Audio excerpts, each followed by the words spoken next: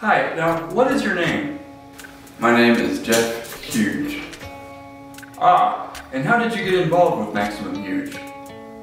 We were joking about around about trying to start a band one night, like probably in November 2010, and uh, and BJ and I were the only ones who, I guess, were serious enough to keep doing it. So we, we kept uh, we kept trying to keep do, keep it up, and then it it kind of just kept going and tur- turned into. I wrote a lot of songs for it, and then uh, as as it's gone, we've got, gotten more into comedy videos and stuff like that. Now, how would you describe your role in the band?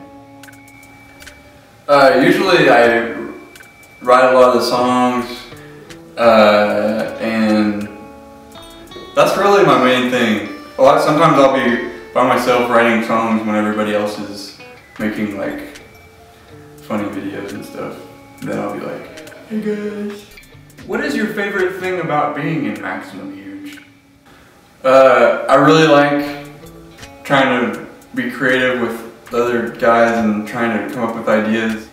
Uh, we're trying to just keep making videos as we go, and uh, to where we want, we want to get better and better as we go. So I like that there's all this. It's it always feels like it's something that's improving and like gonna get better and better as we go.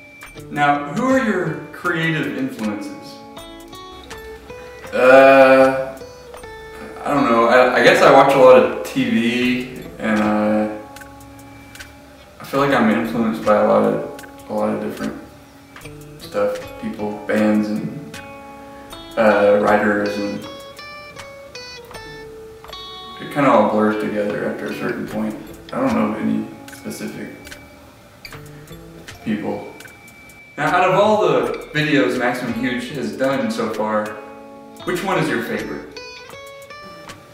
It usually ends up being the last video we did. The one we made tonight, which is, I don't know if it's been on the internet yet, but it's called Back Up Off Me, and I think it's gonna be a really cool video. But I like, Where do you see Maximum Huge in five years? Uh,